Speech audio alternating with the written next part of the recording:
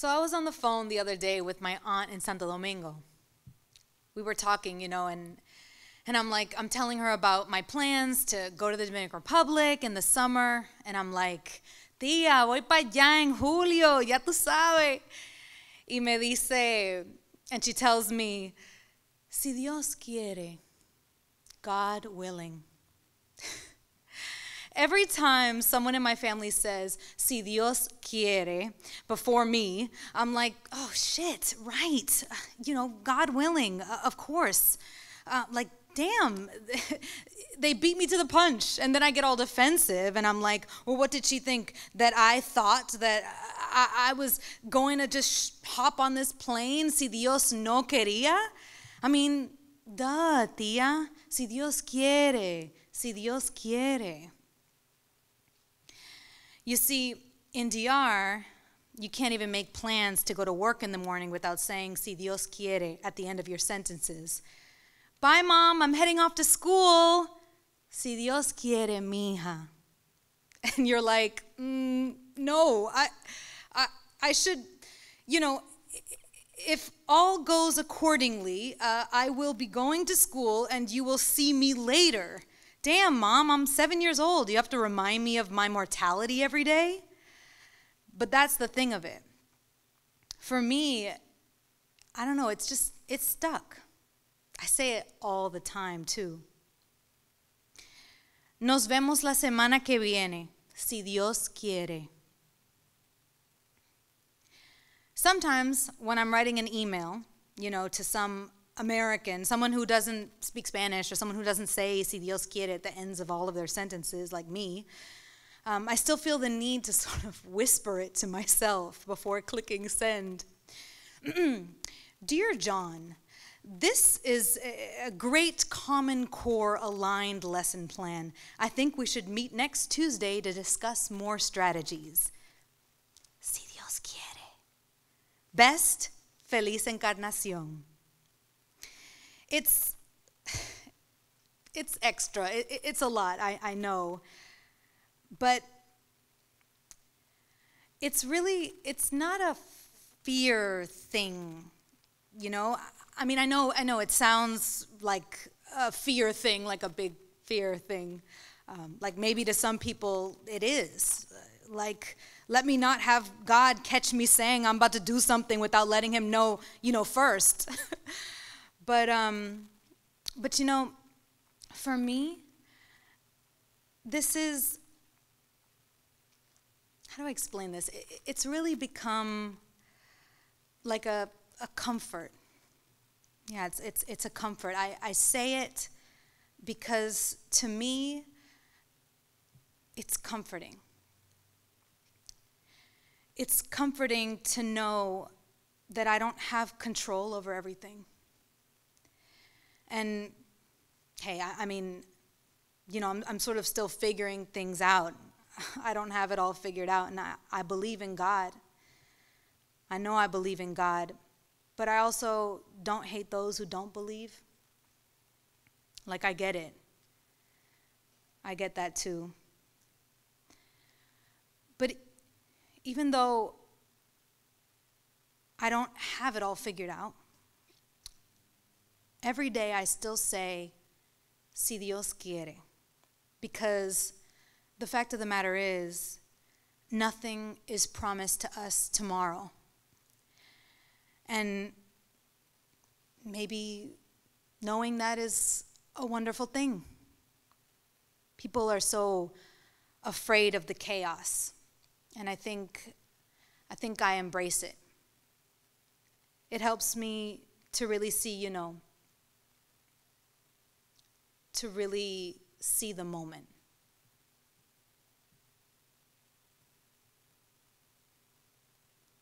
This monologue is entitled Y tu hija, written for the character of Catalina from the Pineapple Diaries. So I had this serious craving for some bistec con habichuelas the other day, the one from Miami restaurant. I was right around the corner, so I just went in to order takeout. And it was raining out that day, so I couldn't really kill time walking around the neighborhood, you know, so I just bought a cold presidente and sat at one of the tables by myself. Raulín was playing so loud on the speakers.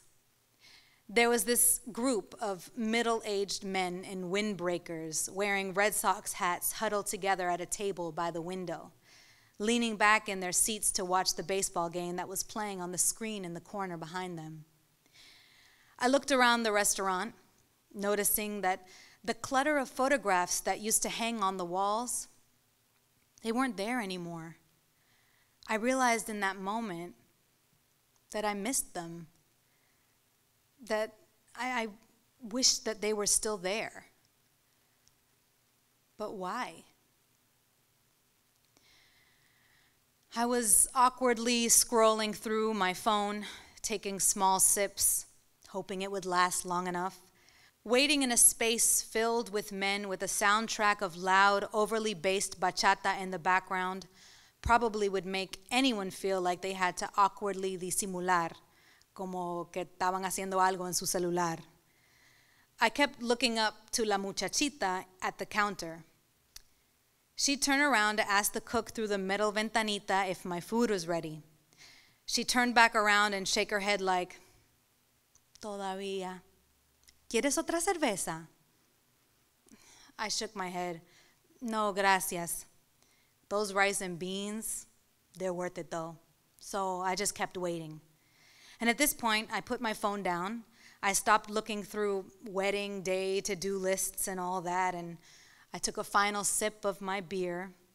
You know, that last sip you take just, I don't know, out of habit at this point because there's really not even just a drippy drop left. And I just decided to sit there, resting my chin on my hand looking at the now empty walls. Just then, a man came into the restaurant. Little pancita, aviator style seeing glasses, and one of those 90s style bomber jackets. Not like funky, it was just sort of simple in like a muted brown. Something probably Balbuena would wear in Nueva York. He seemed surprised to see that group of men near the window. Maybe they used to work together. I don't know. I, I didn't quite make that out. But, anyways, they greet him. Hey, Fulano! I, I didn't catch his name. I, I don't remember what his name was. Anyway, that part doesn't matter. He shook each guy's hand and they did a little small talk. You know, that kind of small talk Dominicans do so well. Bate, ¿cómo está todo? Bien, bien, todo tranquilo. Te mudaste, ¿verdad? ¿Cómo va eso? Oh, bien, bien, gracias a Dios. Sí, sí, sí. ¿Y tu hija? Oh, bien, bien, una maravilla, una maravilla. Ella se mudó eh, eh, para eh, Salem, compró una casa nueva por ahí. Qué bien, qué bien, mi hermano. ¿Y los nietos? Oh, bien, bien. Esos muchachitos, miran, tienen pila de energía, 24/7. 24-7. Sí, sí. It was comforting to me. I don't know why. It brought a smile to my face just to hear it. Just kind of feeling like I knew what this small talk was going to look like, and it ended up looking like just how I had imagined it. the dragged out biens, the repeated bien, bien, the gracias a Dios, and the tranquilito. Fulano kind of patted one of the guys on the back to softly end the conversation and hop over to the corner to pick up his takeout order. When he was at the counter, I got a good look at him. His pudgy cheeks, his small crater scars, the gray around his sideburns. He reminded me of my dad. Papi lives in DR. He's taking care of the family business and a couple colmadones. I try to see him every year. And we talk as much as we can, you know, on video chat and, and, and WhatsApp. We do that small talk thing all the time. Mija, ¿cómo tú estás? ¿Cómo va eso en Loboton? Bien, papi, todo bien. In that moment, I had this vision. I had this vision in my head of, of my dad in Santo Domingo walking into a restaurant to pick up some takeout order, I don't know, and seeing a group of old friends gathered at a table. Rodolfo, oh, oh, cuánto tiempo. ¿Cómo va todo? ¿Y la familia? ¿Y tu hija? ¿Y lo nieto? And I wondered about I wondered about what he says. What does he say? Does he tell them real stories? his daughter is divorced, no kids, 31. Or does he sugarcoat it? Maybe he sugarcoats it and says just bien, todo bien. Or does he say she's working hard? She just graduated. She's a pharmacist now. Does he even call it that? I don't know. Does he? Maybe he says something more general, like uh, she's in the medical field.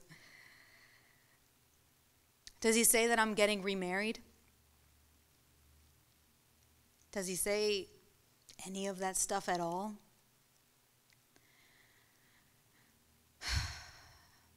Does it stress him out? Does it stress him out when, when he sees his friends ask about me? Or is he proud to talk about me? Does he say he's proud of me? I don't know. I don't know, but in that moment, I, I thought to myself, I don't know if my papi says he's proud of me in those moments of small talk maybe he doesn't need to say it for me to feel that he is. It just occurred to me how much it would mean to me to know that on any given day, in any given moment, when coming across a friend in, in an unexpected place, that he can say that, that in some way I have made him proud.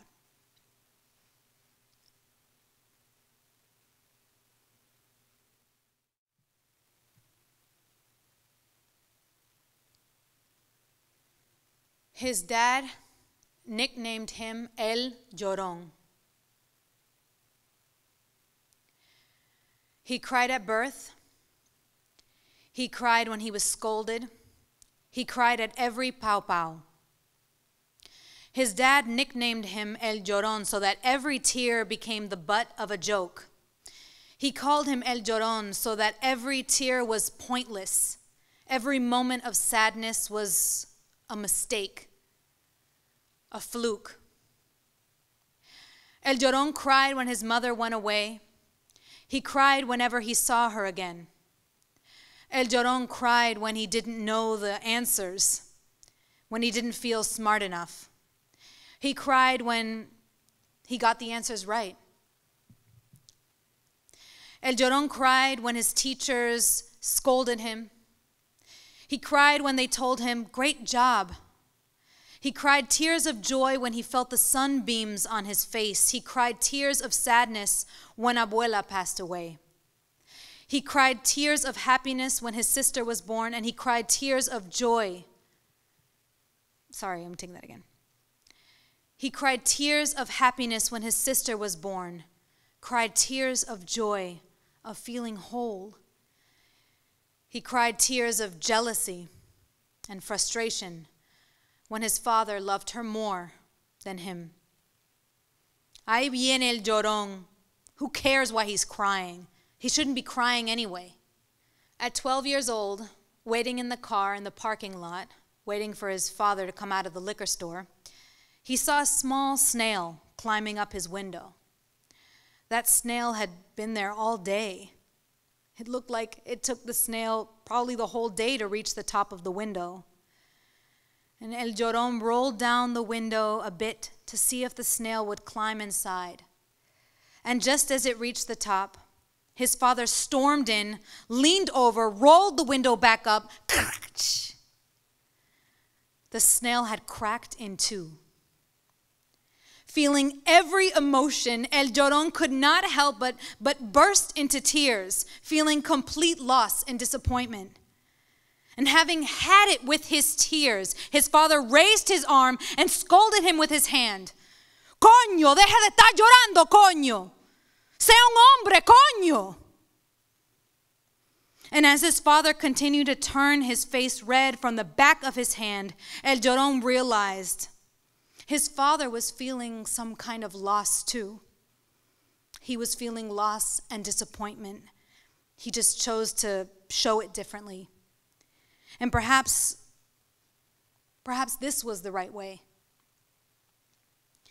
At 16, El Llorón learned that his anger and sadness could come from the timbre of his voice lifted veins on his neck, raised volume, stubborn silence, a tightened fist. He learned that, like his father, he could express less with words and more with nothing. He could hide the tears behind the palms of his hands. He could suck them back before they ever came out. He could walk away he could try to feel nothing at all. He could shake his father's hand instead of hug him. He could ignore the woman he loves instead of love her. He could pretend he didn't care and just say he did anyway. El Llorón didn't need to llorar más. El Llorón didn't want to be El Llorón. Why should he cry? He shouldn't be crying anyway. And for many years, he never cried. Not once. Not when he married the woman he would ignore. Not when his mother died. Not when his son was born. Crying was such a foreign concept to El Llorón at this point that he didn't even need to hide them anymore. And when his father died, he didn't cry. He couldn't let it out. He could not let it out. At his funeral, he stood next to his son, who at nine years old had no concept of death, but understood that his beloved grandfather wasn't ever going to come back. And so he cried. And El Llorón, he looked over to his son tears rolling down his big cheeks. And he kneeled down next to him. And he tried to comfort him and tell him, Mijo, no llores. No llores más. Before the words came out of his mouth, he looked into his son's watery eyes and he felt this, this surge of release, this rush of relief, like he hadn't been breathing all these years. He watched his son cry, and he remembered. He remembered what it felt like to cry. I'll take it again. He watched his son cry, and he remembered what it felt like what it felt like to cry. Fearless, truthfully, without any concept of boundaries for his tears. So he let his son cry. He didn't say anything to him. These tears mattered. These tears were not a mistake. He knew why he would cry. and there was no reason why he shouldn't.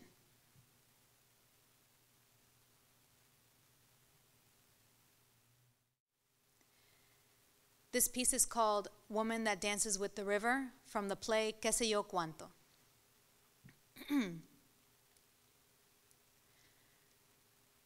Her name was Sol, Sol Rivera. She was 67 years old, which means she was once 19. Sol Rivera was once 19. When Sol was 19, her breasts were so young and lively. She could run naked in the streets and not feel the pain from the weight of her heavy veins that guide way to her now worn nipples. She did not sweat between the creases of her breasts as she did now.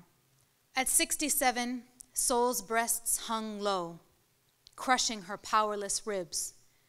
Her breasts chained her. They kept her in one place. They kept her in this place too long. Now the only freedom she knew was the cotton from her flower printed sopita stained bata that laid on her skin, allowing her breast to feel something cool, something soft. This was a treat, as her hands and body at 67 now only knew the touch of a cold metal ladle, a scorching aluminum pot pruned, finger inducing, sudsy dishwater, and powdery cold cement walls that surrounded her one bedroom house. When Sol was 19, her skin and hands glowed like sprinkles of golden sand and brushes of melted butter. She was an African goddess, a barefoot temptress with a head full of little brown curls that bounced like slinkies. In Puerto Plata, she was the envy of all the young girls at 19 and the fancy of all the men from 19 to 50. Full of life, her smile never faded, her heart never stopped beating.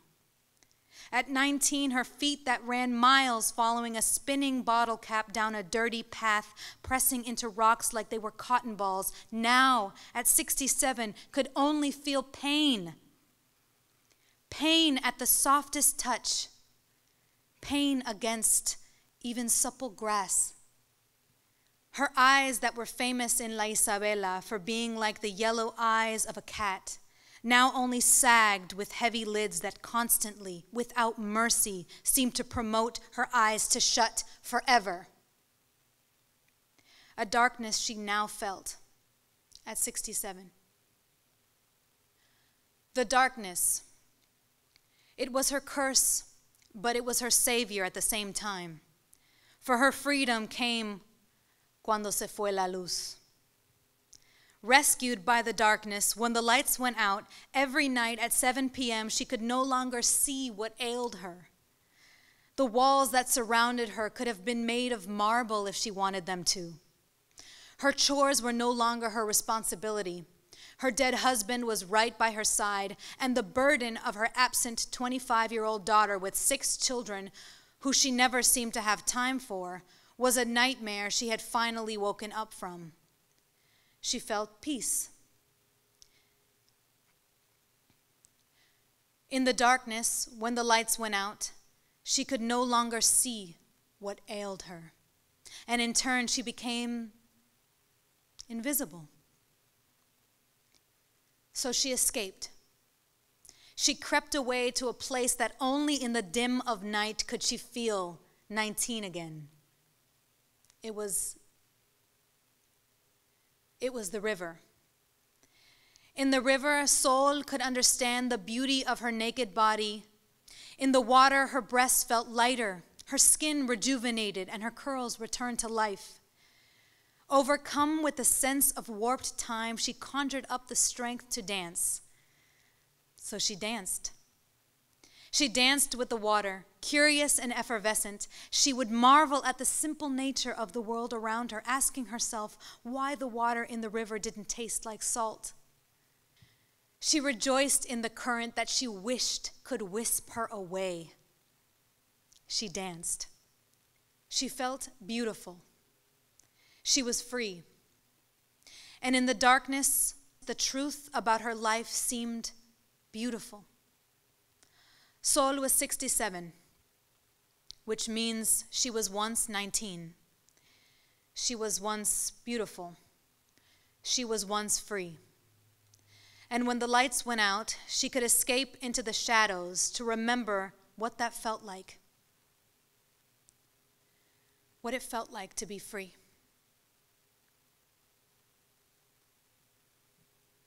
Thank you. This monologue is called Como en los Boleros. It was written for the character of Otis in the web series The Pineapple Diaries. This monologue was originally in Spanish, and I will be reading it to you today in English. He fell in love like bolero singers do, completely, desperately, obsessively, like body and soul devoted. He needed her like air. He needed her like coffee in the morning. He started to believe that his heart was beating four by four on a bongo drum. He started to believe that this, this must truly be love. This had been what he was always waiting for that love that resonated through a voice like Benny Moré. Desperate lines that seemed unrelatable to him must have come from, from, from this, this true feeling of love, the sensation of having felt a perfect love, the kind of love that few attain. This idiosyncratic love would be the source that inspired the greats the cynical ones would only have to wait their turn before realizing that true love was within reach, that true love was irregular, it was personal, freakish, and mysterious, but it was real. He saw her and he immediately knew. He could imagine her long legs wrapped around him, harnessing him and protecting him from everything that could go wrong, everything that would go wrong. Her lips, the color of cacao. He so desperately wanted to kiss them. Her shoulders, like the mountains in Constanza. Her eyes were a mystery, like the Malecón in La Habana brushes of cinnamon on the short coiled curls on her head. It was clear to him that he would love her forever and that all too often used line, No puedo vivir sin ti, that Los Panchos cried out, only perfectly described how much he loved this woman. And he finally understood every bolero he had, and he finally understood every single bolero that he ever heard. Like the men who commiserate in trios, grieving for love's lost or love's too good to be true, he fell in love with her, already fearing she would leave him. She made him so happy that the thought of this happiness being some pointless stroke of luck consumed his every thought. Please don't leave me. I need you. I need you. He fell in love with a sense of tragedy inevitable to relationships split between 36,000 feet deep oceans, between universes, between bad luck and other lifetimes. She could sense his heart reverberated in tones of Javier Solis. He wanted her so bad it scared her. With every step forward, she took a step back. How can I know that this love is real? She didn't. She knew she didn't. She was cautious. But caution seemed like a waste of time to this man who finally uncovered the veracity of love. She did not know that yet. It wasn't her fault. But he could not help but tell her, I'm in love with you. I am deeply, deeply in love. Or other cliches like, uh, I want to spend the rest of my life with you. Finally, after months of cautious dinner dates, removing his hand from her lower waist as they walked, keeping hand holding short at the movies, missed phone calls on purpose, she was finally able to look into his eyes and see a man that she was ready to love. Her love was her choice, and she loved him. She really did. She loved this man with everything she had because slowly she was able to realize that this man, this, this man deserved her love. After uncovering every layer beyond the surface, she found somebody to love. Love to her was not fickle, love to her was not capricious.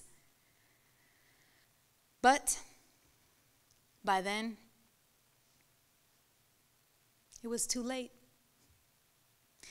Reality was what allowed her to grow to love him, and reality was what caused him to forget that Miguelito Valdez too sang his last bolero.